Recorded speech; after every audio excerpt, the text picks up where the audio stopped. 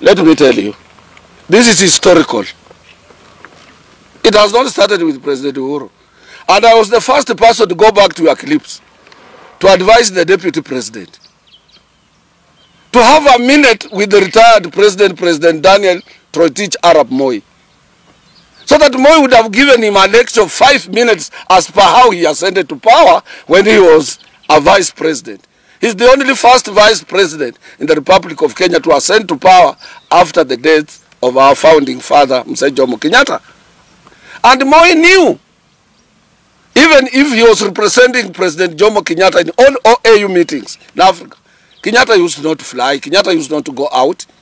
But when he comes back, and Mzee Kenyatta is at Thingirawa Iregi Nakuru, with the former provincial police officer Mungai, the director of CID Mr. Nderi, and Mbiu Mwana wa Koinange, and uh, uh, Mungai, who was the foreign affairs minister, President Moi would not be allowed to go there. He stopped at the door at the first gate and he goes home. The following day, he could not complain to Kenyatta that your people chased me away.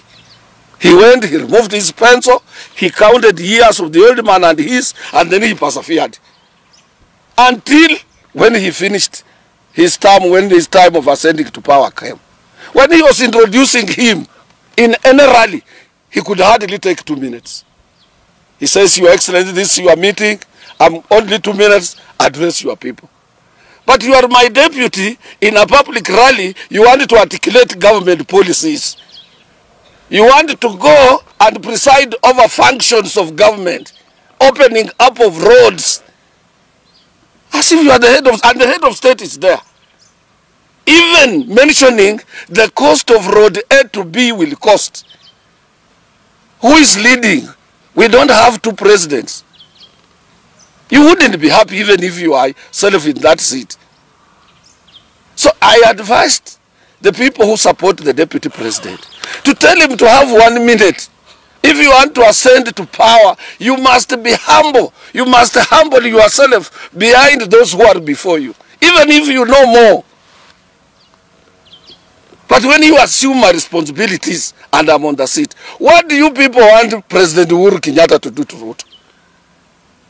What do you want him to do? Because even if he would have stayed there in the church and Ruto stands up, he starts articulating government policies, the roads he want to put up in Kiambu, even in the home of President Kenyatta himself. And you are there. And you give a room to Kuria, eh, Moses Kuria, to think it is Ruto who is running the government and not Uhuru Kenyatta. You make Wambuku Kunjiri in Nakuru to say it is not Uhuru, it, you know, he's diverting attention in the house that is not his. And therefore soon he's going to find himself alone. I'm saying as an elder, I have nothing to lose. I'm giving him a free advice. Let him disappear as if he's not there and he will resurface 2021 and he will survive. But if he wants to be where every place where President Kenyatta is, to go to the church, if you are a sinner, even if you went to Catholic church where I go, a thousand times, you will remain a sinner. huh? You, will, you will not wash away your sins. Tell him to humble himself. And you know Ruto Harbour's hate. Let him try to consult these people, talk slowly, not without. I'm giving him a free advice. If you are recording, send this thing to him. He will survive. But if he goes the way he's going, he's not going to survive at all, at all. And he should not say we did not warn him. The way he has disappeared in Isuru, going home, let him sit there. Who is he? Receiving delegates on behalf of government and President Uhuru Kenyatta is alone with Margaret in the house. In that sense, and he's the head of state. I can't allow it even if it was myself. I would say yes. So wewe umesema ni president. Haya chukua hiyo serikali. And we don't get it. Kibaki aliwacha that shield that protects a symbol of protection of Kenya. Ile upanga in the hands of only one man. That is Uhuru Muigai Kenyatta. Let somebody tell Ruto, this is free advice. I'm elder.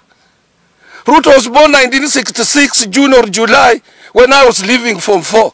And in the following year, I started working when he was less than one year, on 2nd of June 1967.